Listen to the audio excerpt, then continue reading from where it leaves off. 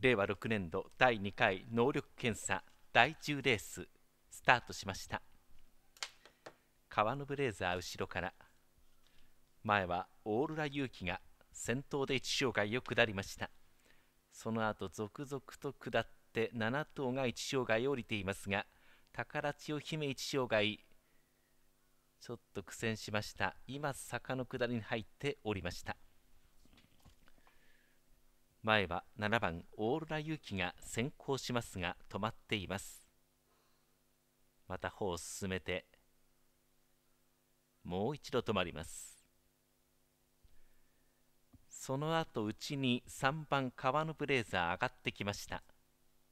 間に4番のいわき金星。前の3頭が1、2障害の中間です。その後刻んだ内1番北西福太郎。外に8番網走宝そして6番の寿雲海新種母は甲子派雲海3区が続きます。その後ろに2番の宝千代姫上がってきました。少し間が空いて船野くん3区5番 J ボンドが一番後ろ。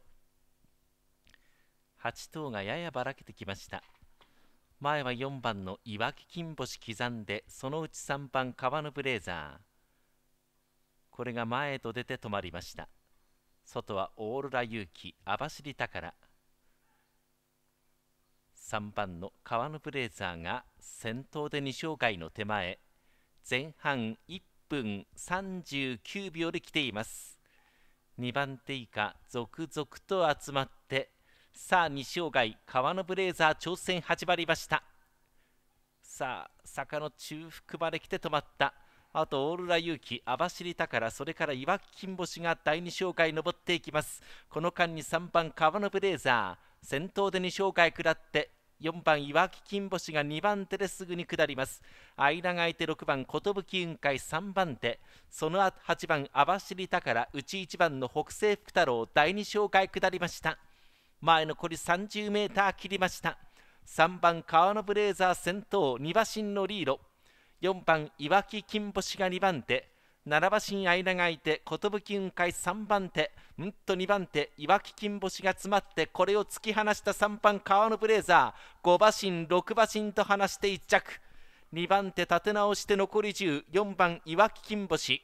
残り34ベーター。4番いわき金星が2着。